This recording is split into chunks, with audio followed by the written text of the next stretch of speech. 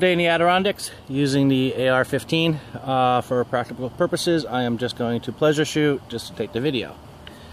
And I will be, the thing doesn't kick, so I will be aiming at the big can. Yeah, that's it.